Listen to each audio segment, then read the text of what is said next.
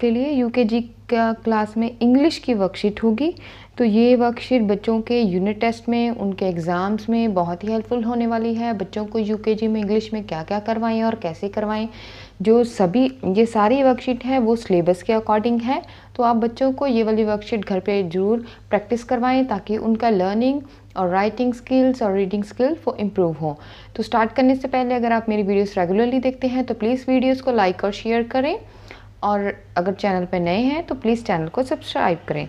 सबसे पहले करेंगे सब circle all the vowels in given picture सबसे पहले हम बच्चों को वॉवल्स और कंसोनेंट के डिफरेंस बताते हैं और बार बार ये वाली एक्सरसाइज करवाते हैं अलग अलग मेथड से। तो वॉवल्स को रिकोगनाइज करना है सर्कल करना है। हमारे वॉवल्स कितने हैं? फाइव है। A I O U these are vowels और बाकी जो अल्फ़ाबेट्स होते हैं, वो होते हैं कंसोनेंट्स नेक्स्ट क्वेश्चन है नेम द पिक्चर यहाँ पर कुछ पिक्चर ड्रॉ की हुई हैं, उनके नेम लिखने हैं, जैसे सबसे पहले है लॉक नेक्स्ट है सी यू पी कप ये सिर्फ़ थ्री लेटर वर्ड्स वाले होंगे, क्योंकि बच्चों को इतने ही पहले सिखाए जाते हैं टू और थ्री लेटर्स वाले. Next picture is egg next is cap then hen car nut and ten ten. Next exercise में बच्चों को ऐसे दो वर्ड्स दे दिए जाएँगे वॉबल्स के साथ। तो स्टार्ट करेंगे। बच्चों को कहेंगे कि वो खुद से वर्ड बनाएँगे, जैसे ए टी से बनेगा। कैट मैट सेम साउंड होनी चाहिए। Hat pen hen ten next bin pin and tin ठीक है? ये एक वॉवल है, एक कंसोनेंट मतलब कि बीच में वॉवल होगा और साइड पे क्या होंगे इनके? कंसोनेंट ठीक है?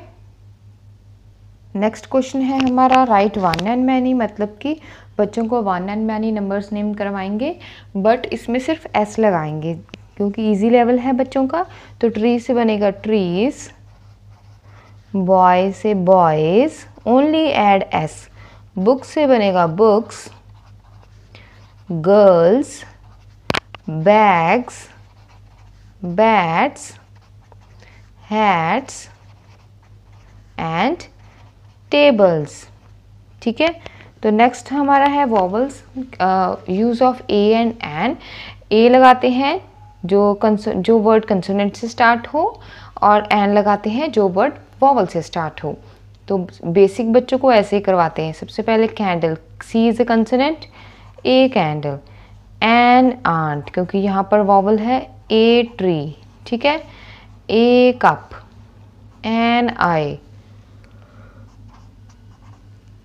an umbrella तो नेक्स्ट हम करेंगे question number six question number six में होगा यूज़ ऑफ़ दिस और दैट दिस होता है जो जहाँ पर सेंटेंस में हम पास की चीज़ के बारे में बात करें और दैट वहाँ लगाते हैं, जहाँ पर सेंटेंस में हम दूर की चीज़ की बात करें। ठीक है?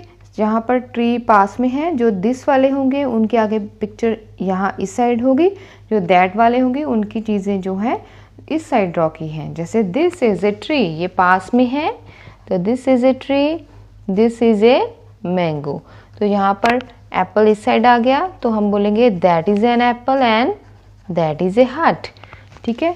मेरी वीडियोस पहले भी है, उसमें दिस दैट दीज दो सभी कंसेप्ट लिखे हुए हैं आप प्लेलिस्ट में जाके देख सकते हैं। यहाँ पर filling the blank seven question number seven है। जो पिक्चर ड्रॉ है, उनका नाम लिखना है। जैसे I have a this is pen he sit on a mat I have two cups ठीक है? डॉग इज़ ए डॉग क्या होता है? Pet animal this is a hut question number eight है मैच द राइमिंग वर्ड्स जो rhyming words हैं, उनको match करना है. Fun bun pig fig hand pen pan fan fox ox question number nine है सर्कल द ऑड वन इनमें से जो ऑड है, उसको सर्कल करेंगे, जैसे पेन हैन डेन ये सभी सेम साउंड है. हैट जो है this is odd pot cup hot cot तो cup is a odd bin ten pen and cat this is odd तो पेरेंट्स ये थी हमारी आज की यूकेजी के बच्चों के लिए वर्कशीट इंग्लिश की वर्कशीट ये बहुत ही बेसिक वाली थी, जो कि बच्चों के एग्ज़ाम में आते ही है पैटर्न उसके अकॉर्डिंगली बनाई गई थी। तो आप बच्चों को घर पे ज़रूर प्रैक्टिस करवाएँ, ताकि उनकी जो राइटिंग स्किल्स हैं, उनकी ऑब्जर्विंग स्किल है लर्निंग स्किल है, वो इम्प्रूव हो और वो अपना एग्ज़ाम जो है हंड्रेड परसेंट दे के आएँ। तो मिलते हैं नेक्स्ट वीडियो में विद न्यू सब्जेक्ट अगर आपको कोई भी वीडियो किसी भी सब्जेक्ट के रिगार्डिंग देखनी है तो प्लेलिस्ट में जाके आपको सभी वीडियोस जो हैं, वो सीक्वेंस वाइज मिल जाएँगी। तो thank you for watching thank you